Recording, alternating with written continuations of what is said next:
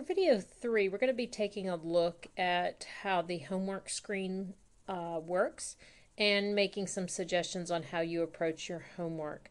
So remember that all the MTEs are set up the same. I'll go into MTE1 again and I'll just pick a unit. So today we're going to take a look at button 3, which is assigned homework. When you click on the buttons, it does not automatically pull up the specific homework assignment, but it pulls up the homework list. And so you just have one more click. If we uh, were in Unit 1.1, I would click on Unit 1.1 homework again. If you are not eligible for the homework assignment, a message like this will come up. And this is saying that I have not received an 80 on my Unit 1.1 reading quiz. So my homework, it would not open and I need to go back and do the uh, guided notebook, the e-text, and the reading quiz before I click on the homework. So, so if you get this message, that's what it means. I'm going to sneak in the back door and we're going to still take a look at the homework. This homework has 15 questions. The little green symbols here indicate that those questions have video lectures available to go with them. First, let me explain how the homework scoring works. If you notice across the top are the, the problems. The single arrow goes uh, question by question. The double arrow goes to the next page. There are no checks or X's because we haven't done any problems yet. If I do the first problem, and so I will quickly put my answer in, and then I go to the bottom and I check answer. If it is correct, it will tell me and I can move on. Now this was a two-part question, so I'm going to put in my denominator. I'm going to check my answer and it says I was correct. Now if you'll notice, up on the number one, I have a little check mark. I have successfully completed number one and now my score has gone up almost seven points because I got one out of the 15 questions right. So as you get the problems right, they will be checked off.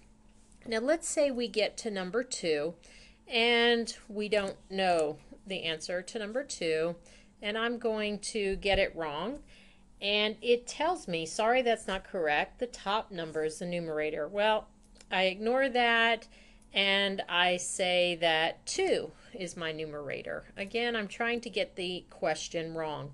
Notice there is still nothing up on the number 2, even though I have now gotten it wrong twice. So I'm going to do one more. Maybe I say it's 12. Notice the button here has now changed to final check. And I click on that and it tells me I was wrong and it now gives me the correct answer. When I click on done, so we technically have to finish this problem. I'm going to do it quickly by just entering the same thing twice. So I'm getting this problem completely wrong. Not all problems have two parts. Okay, so now look what happens to the number 2. It has an x beside it. So now I still only have a score of 1 out of 15. Well, what if I get a couple wrong? Does that mean that I can't get a 90? That is not the case. When you get an answer wrong after three tries, you can click on similar exercise down below. Notice we got a different problem of the same type. Now I'm going to put my answers in and get them right and watch what happens to the X and to my score. The X became a check and the score went up to 2 out of 15 correct. So for each problem, you get three attempts to enter the answer to the question. And then when you get, if you get it wrong after three attempts, then you may ask for a similar exercise and with the opportunity to get it right again. So you may just go in and out of the homework and work on each problem working to get it right. Please don't turn it into a guessing game. Turn it into getting the help you need in order to understand that concept. Now, there are many ways to get help. There's the help you can get within the program, and I'm getting ready to go over that. There is your instructor who is there to help you during class time and via communication outside of class. And we have our tutoring resources, both our online tutoring and our in-house uh, math labs and tutoring center workshops, etc. So there is a lot of help available. You just have to take the time to get it. let's talk about the buttons over here that can help you. There are two types of help, and the key thing here is not to become dependent on these buttons, kind of like the easy button in the commercial. You can use Help Me Solve It to understand, but if you use Help Me Solve It to mimic, then you're not learning the material. And so always make sure that you can do the problems completely on your own before you declare yourself that you understand. When you get to your quizzes and your final exams, you don't have these buttons anymore, and so therefore you'll be on your own and, and the knowledge that you have. The Help Me Solve This button is kind of like a computer-based teacher. It will give you little bits of information, and along the way, it will ask you questions. So the question it's asking right now is not the original problem, it's a kind of an intermediate step. It wants to know how many equal parts is the figure divided in. So I'm going to put 6. And they say yes. So it's going to take me to the next step. How many equal parts um, are in the shaded, are shaded? And so I'm going to put 4. And now it asks me, based on what the reading was there, that I have the numerator over the denominator. So I'm going to put in 4 over 6 and check my answer. And, and so I can close. Now remember that was 4 out of 6. Watch what happens to, so these two shapes match. Watch what happened when I close. All of a sudden it became a different figure because it helped me solve my problem, so it's going to make me do a different one. Now, when I view an example, that's a little bit different. It's not quite as interactive. It is going to talk you through the problem and give you the answers itself and provide the help that way. The less interactive it is, the less you're going to get out of it. So while view an example might allow you to copy the concept, it's not going to help as much with understanding. View example, though, can be uh, an excellent tool for clarifying the directions. If it asks for something and it's unclear whether it wants it in a mixed number or improper, by looking at view and example, you can see what type of form the final answer is taking. So there, sometimes the view and example is good to clarify uh, the question. The other buttons here are the textbook button, which will take you to the exact pages in the e-text where this information is located.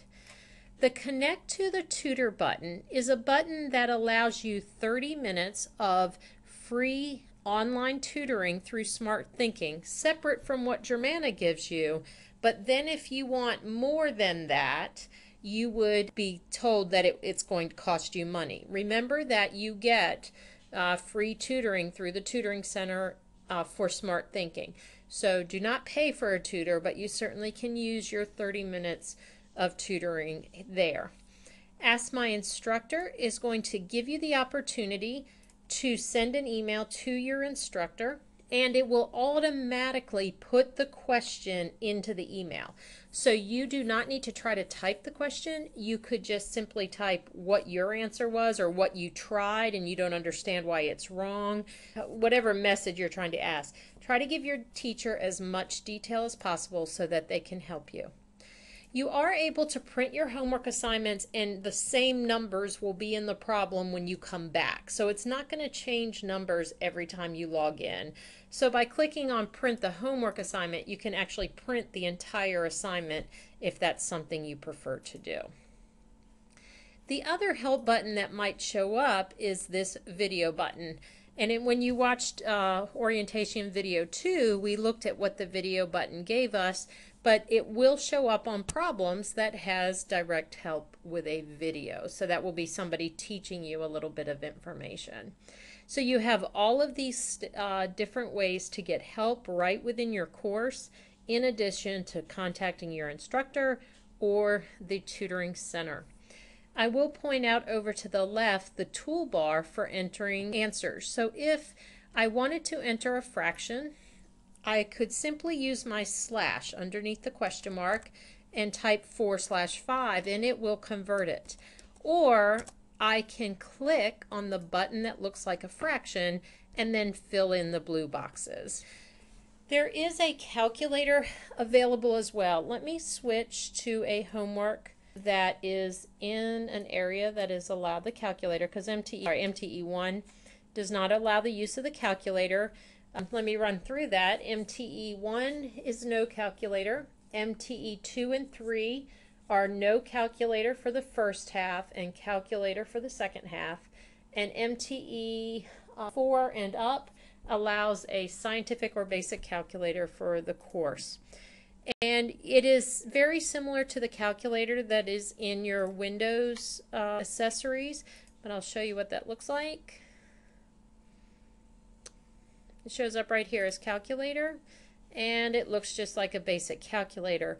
When you get in MTE 8 or places like that where you're dealing with powers, for your homework, you would probably want to use your Windows accessory uh, calculator option. And that scientific calculator, these buttons here, are the ones that will be available on your quiz. So if you need more buttons, like especially I know MTE8 needs additional buttons, uh, use your Windows calculator under Programs Accessories and when it's time for the quiz or the exam, the the scientific calculator with the extra buttons will be available to you um, while you're in lockdown browser that doesn't allow you to go to the uh, Windows calculator. So calculator is available in the course when it's acceptable for you to use it. So the key is that as you're doing homework that you become comfortable with the content so that when you go to take your quizzes, you'll see that the screen is a bit different. Again, it's giving me the prereq error. And so notice that there are no buttons now. And so all of those support buttons are gone. The other thing that's important to remember when doing your quizzes is while it's not against the rules to reference your notes, the quizzes are preparation for you for the final exam.